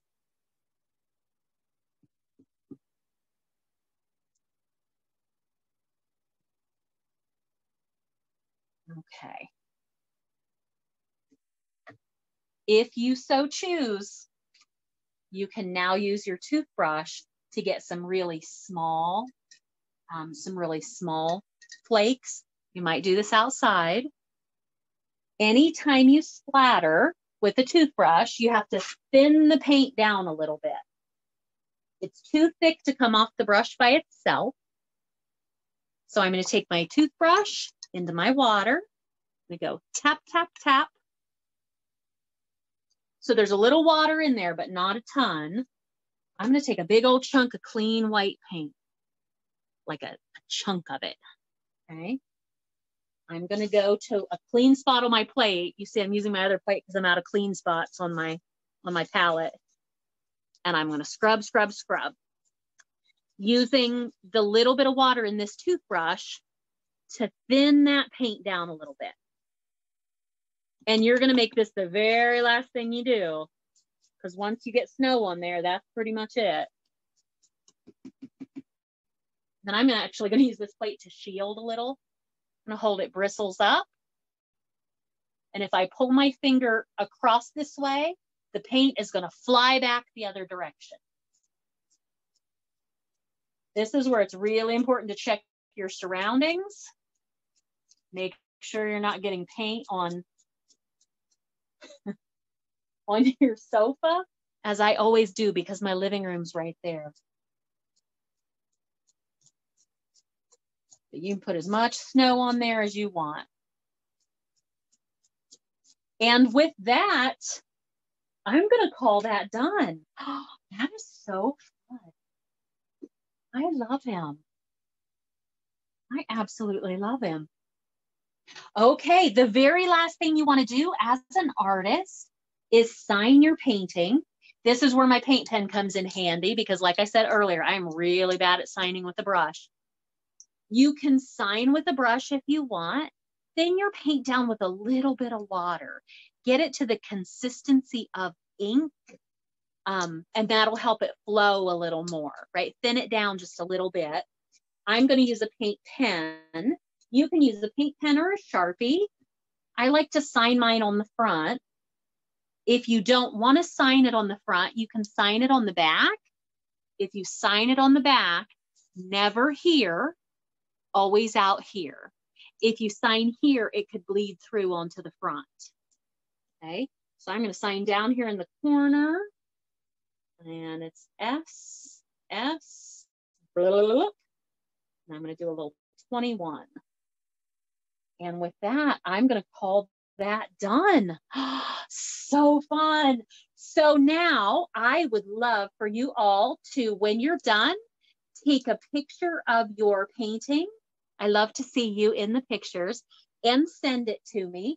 Everything I've received by tomorrow morning, I will collage those all together and put them out as our group picture on on uh, Facebook on social media. So I'm going to go ahead and stop the recording now, and then I'll give you the opportunity to unmute yourself so we can talk for a little bit. So for the recording, thank you so much for joining me for painting through the pandemic. This was a lot of fun, a little challenging, but a lot of fun. Okay, I I challenge you that if if you were working your way through it, go back and do it again right? Now that you know, a lot of times art is about repetition and once you know the direction we're going and the way paint works and you can see things that you might do differently next time, go go back and do it again if you want to. That's that's how we all learn, right? Time and time and repetition. So you are so welcome, Donna. Thank you all so much for joining me tonight for Painting Through the Pandemic. I'm Shauna Sue from Crooked Door Studio. Thanks, guys.